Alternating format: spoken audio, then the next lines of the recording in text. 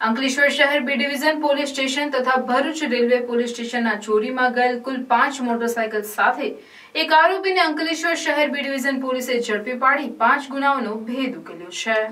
Bharuch police અધિક્ષક મયુર ચાવડા દ્વારા જિલ્લામાં બનતા મિલકત સંબંધી ગુના તથા વાહન ચોરીના ગુના શોધી કાઢવા સૂચના આપેલ, જે અનુસંધાને નાયબ પોલીસ અધિક્ષક ચિરાગ દેસાઈ અંકલેશ્વરના માર્ગદર્શન હેઠળ અંકલેશ્વર શહેર B division police inspector VU Gadariya મિલકત સંબંધી ગુનાઓ શોધી કાઢવા કાર્યરત હતા. તે દરમિયાન હેડ કોન્સ્ટેબલ કિશોરભાઈ ધર્મેન્દ્ર કુમારને સંયુક્ત બાતમી મળેલ કે અંકલેશ્વર શહેર B division police station IPC કલમ ત્રણસો ઓગણએસી મુજબના ગુનાના કામે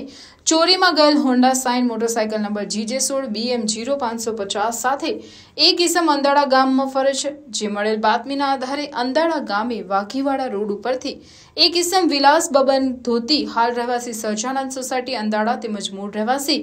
બોરખેડ ગામ મહારાષ્ટ્રને ચોરીમાં ગયેલ એક મોટરસાયકલ સાથે પકડી લઈ વધુ પૂછપરછ દરમિયાન તેઓ છેલ્લા બે મહિનાથી